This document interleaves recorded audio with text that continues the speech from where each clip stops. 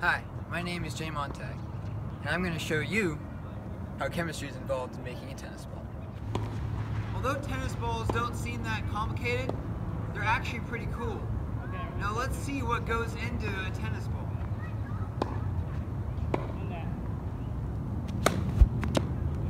The first main component of a tennis ball is the rubber, or C5H8, which is made through a process we'll talk about a little later in the video. And the second is the nylon wool that is glued on the rubber. The felt is important because it helps control the bounce of the ball and also makes them last longer. So I can do this. Winner. The felt on a tennis ball is either Melton cloth or needle cloth, but the way they are put on is the same. They are stamped on by a machine and then covered in vulcanizing solution. Next, they heat up the fabric on the solution to make it stick firmly. Now the complicated part, how the synthetic rubber is made using chemistry. In this day and age, it can be done completely using a computer program. It needs no humans to make it. Step 1. They combine butadiene, which is C4H6, and hexane, which is C6H14. When they combine these with a catalyst, it changes the chemical makeup into polybutadiene. Uh, the chemical the chemical equation for polybutadiene is CH2 equals CH equals CH2. Um, which uh, and polybutadiene is a rubber used to make tires. Uh, they then add another catalyst, and that makes synthetic rubber in liquid form. They then put a solvent in, and the liquid is boiled until the solvent is boiled out. This leaves little pellets of rubber um, in solid form.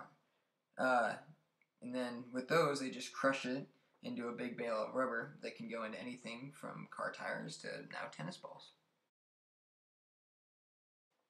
Some tennis balls are made with natural rubber instead of man-made synthetic rubber. Okay, so how natural rubber is made? Step 1. A tree produces sap called latex. This takes a long time. Step 2.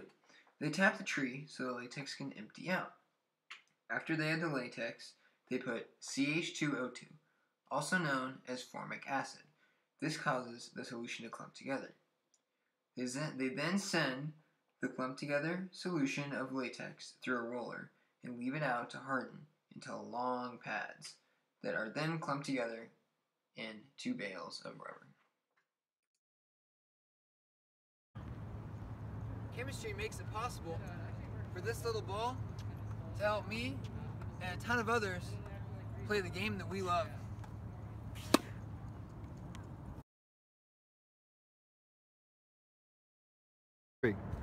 The first main component in a tennis ball is the rubber, or C5H8, which is uh, made through a process that we'll talk about later.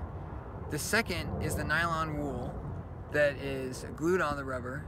The felt is very important because, it, okay, I don't want to do that because I, I, I need to do the rubber part. You did. Okay, so. So I can do this.